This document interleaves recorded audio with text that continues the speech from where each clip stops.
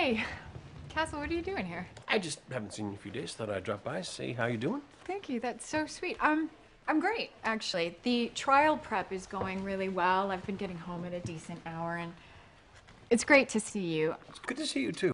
Hey, listen, do you know anything about this gang cop named Slaughter? The severed heads homicide. That's why you're here.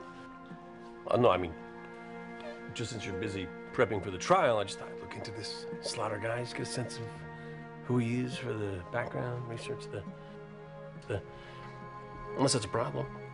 No, not a problem. Great. So, where would I find him? Wherever the body is.